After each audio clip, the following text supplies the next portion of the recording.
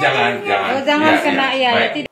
Viral di media sosial kasus seorang anak berusia 4 tahun berinisial S meninggal dunia karena digigit anjing rabies.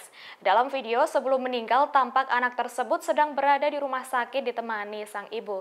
Membuat warganet heran, bocah tersebut merasa takut pada air dan angin yang rupanya dalam medis dirinya sudah ada pada fase hidrophobia usai terinfeksi rabies. Diberitakan anak tersebut saat itu dirawat di RSUD TC Healers Maumere.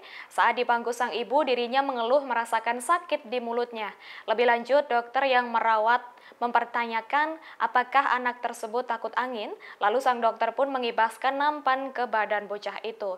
Adapun bocah tersebut langsung ketakutan dan langsung memeluk sang ibu. Setelahnya anak itu diberi minuman hangat dan akhirnya mau minum meski hanya satu teguk saja. Rupanya bocah berinisial S tersebut menunjukkan gejala sudah berada pada fase hidrophobia dalam tahap infeksi rabies. Fase tersebut adalah rasa ketakutan pada air yang terjadi dalam tahap akhir infeksi virus. Hal ini menyebabkan kejang yang hebat di tenggorokan saat mencoba menelan terutama air. Sebagai informasi, Direktur RSUD TC Healers Maumere, Dr. Clara Francis menjelaskan bahwa korban S itu sebelumnya dibawa ke rumah sakit sejak Sabtu 29 April lalu. Anak tersebut datang dengan keluhan demam, mual, dan muntah.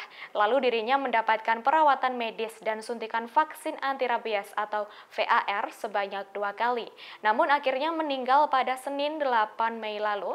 Sebelumnya pada Senin 24 April, anak tersebut sempat digigit oleh anjing yang rabies. Terima kasih sudah nonton. Jangan lupa like, subscribe, dan share ya.